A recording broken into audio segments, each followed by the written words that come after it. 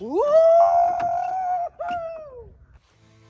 is going on friends? It is Austin and Sean with the Modern Living Group and today we are out here in beautiful Parker, Colorado and we are going to bring you five reasons why you guys should move to Parker, Colorado.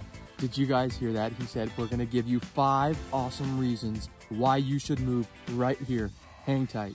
Here is reason number one, guys, why you should be moving to Parker, Colorado. Get ready because this is totally awesome. Reason number one is you can have this shop right here.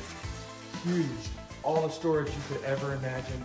You could store whatever you want. You could hoard, you could literally do it all. Check it out.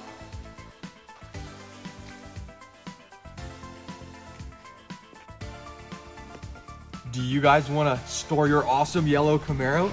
Do you guys want to have a shop building race car? Like, come on, what is this? You can store your truck. Austin, point at that truck for them so they can see.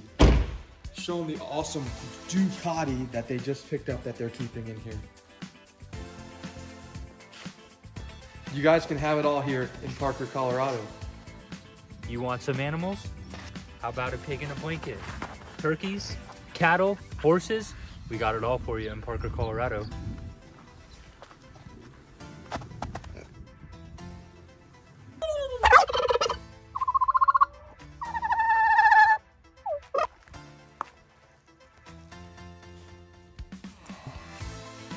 Guys, you ain't ever gonna find a view like this anywhere else except for being here in Parker, Colorado. You have to check this view out.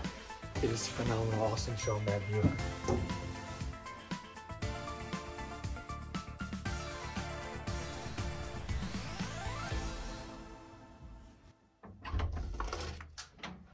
And how about reason number four? Because where else can you build an underground tunnel into your basement? Check this out. Right into the basement. Reason number five, guys, to move to Parker, Colorado is to buy this custom hand-built masterpiece property. Million dollar views. Check. Barn. Check. Privacy. Check. And you got your shop. Another check. And last but not least, you've got your gorgeous house. Check. Guys, thank you so much for tuning into this video. Make sure you like, give us that thumbs up, make sure you share our video, make sure you subscribe. And if you want to see this home in all its beauty and an in-depth walkthrough and a tour of the property as well, make sure you click that link below where you can see our full video. Until next time, guys.